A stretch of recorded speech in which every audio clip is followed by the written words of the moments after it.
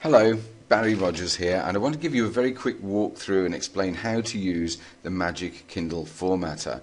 Uh, this will get your ebook ready formatted, ready for submission to Kindle. It's very, very simple to use, and it's just basically a, a load of questions that you have to answer, and then it makes your product for you in the right format.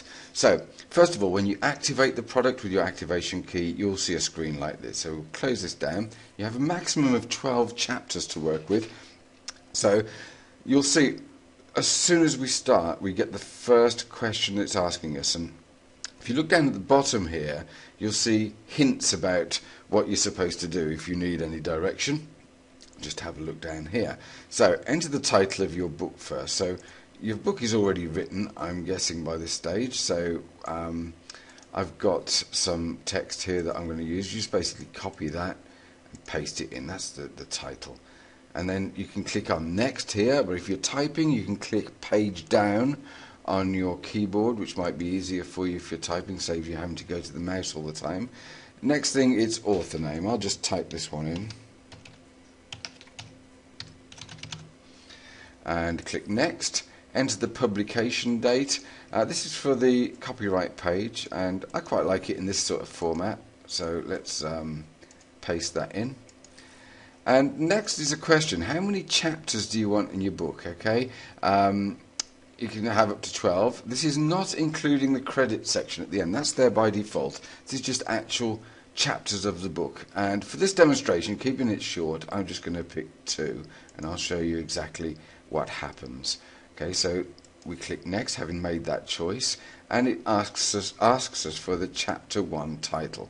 So um, I've got one pre-written here, so copy that, paste it in, and click next. Now it wants the text. Now you'll see down here that if you want paragraph breaks, which you most likely will in a book, then you can put these in wherever you want a paragraph break.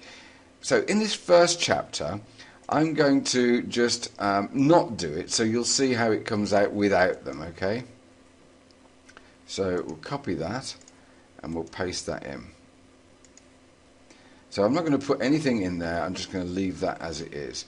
Next, it's asking for chapter 2 title, and we bring up the file again, here we are, chapter 2, let's copy that, paste it in, next chapter 2 text, and this time I will put that page break in, at, uh, line break in rather, to make a paragraph. So we'll copy that in, and here we all we do is we go one of those, BR, one of those again going the other way, one of those, slash, BR, and one of those going the other way. And it's as simple as that. And once you've done one there, what you can do is you can copy it, okay, and then you can just go through your text and see where you want a paragraph. Um, you'll see that as I've pasted it in, the paragraphs will be fairly obvious, okay, but um, I'm going to stick another one just here and just paste it in there. So you can put them in as you go through. It doesn't take long to do that uh, through a chapter. In fact, you could do it knowing that you're going to be doing using this tool. You could do it when you write the book. Um, okay, so next, because we only chose two chapters, it's going to now jump straight to the credits section. Now, if we had chose three chapters, it would go to the third chapter, and we'd do the same again, and so on for however many chapters. But because we only chose two chapters, it's taken us now to the back end, which is the last two pages. Now, I've put this in as default here, credits, but you can call it what you want. Um, you could call it thanks or about the author. Um, could be um, a glossary. It could be anything. Depends what sort of book you're writing. Actually, it could be um, basically a dedication, even. Um, and then next, again, it's asking for the text. So we just can copy that again and we'll put that in there and we'll put that line break in there.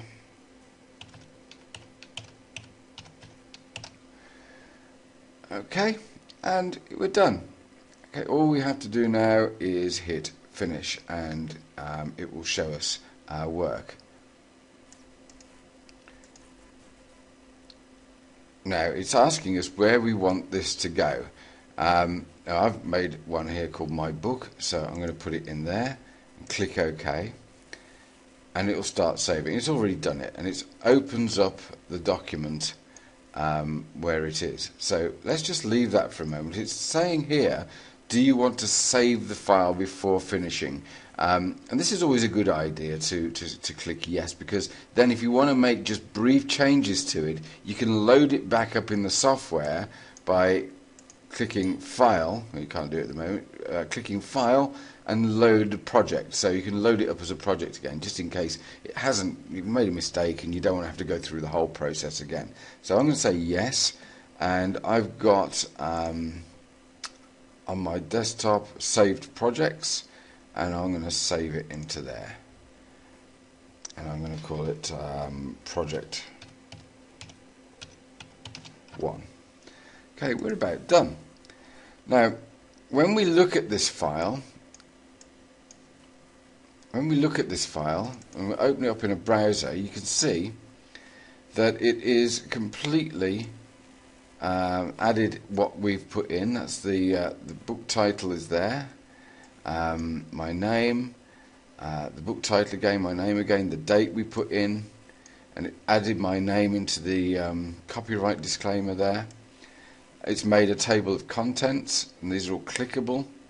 Okay, um, there's my first paragraph title, my first chapter title rather, and you'll see that that has just come out as a block of text. In chapter 2, if you remember, we've put those breaks in, those tags in, and it's made them into paragraphs. And then the thanks at the end. Okay, so we can click on here and it will take us straight down to it. And this is exactly what Kindle want for the format of the book. Okay, so that's it, job done. Thanks for watching.